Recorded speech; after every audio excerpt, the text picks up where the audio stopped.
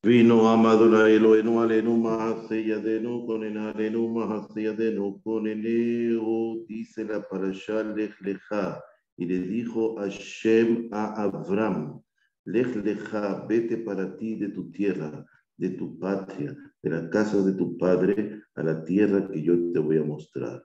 En el Zohar Kadosh, en la página 122 está escrito, y dijo Hashem a la al alma cognoscitiva, que está debajo del trono celestial de honor de Dios. Lej leja, vete, te conviene irte de tu tierra, quiere decir, llegó el momento que bajes al mundo bajo y entres a un cuerpo apto para ti. Y de tu patria, debajo, sal de debajo de las alas de la Shejina, de la presencia divina. Ubibeta vija, sal de debajo del trono de honor de Dios. El ahares a la tierra quiere decir al cuerpo que está hecho de tierra que te voy a mostrar, es decir, al cuerpo que es óptimo para ti, para que cumplas las mitzvot hace positivas, la mitzvot lota hace no hagas las restrictivas. Y te voy a hacer de un pueblo grande, que sea un pueblo grande, quiere decir que a través de las mitzvot que la persona cumple, se crean ángeles sagrados la persona se convierte en un pueblo grande. Esta es la manera básica de interpretar según el Zohar. Otra interpretación dice así,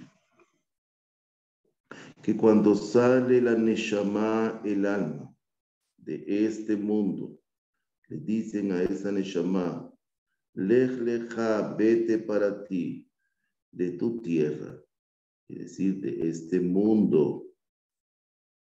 Este es el sentido inverso, cuando esa persona se va de este mundo, de este mundo y de tu patria y de la casa de tu padre, quiere decir, vas a dejar a tu padre, a dejar a tu madre, a tus hermanos a tus hermanas y a toda la familia a la tierra que te voy a mostrar, ese lugar que tú tienes ahora el mérito según sus acciones en este mundo.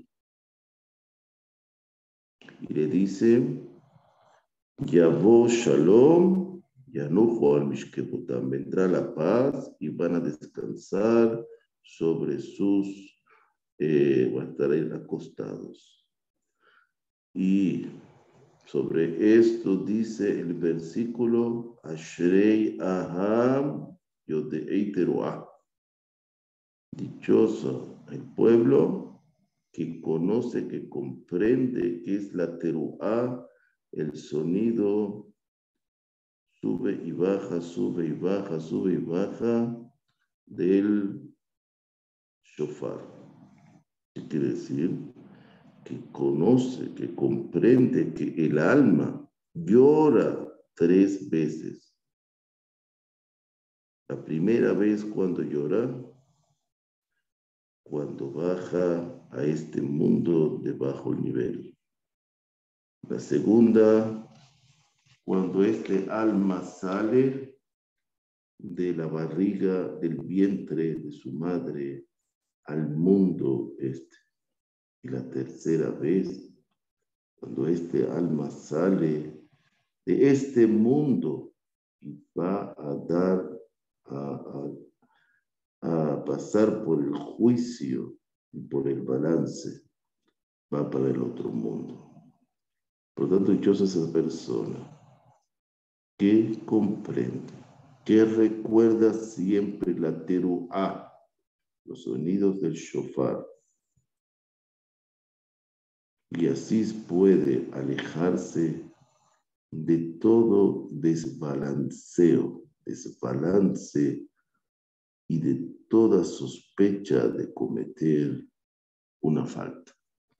Baruch Hashem le olam, amén amén.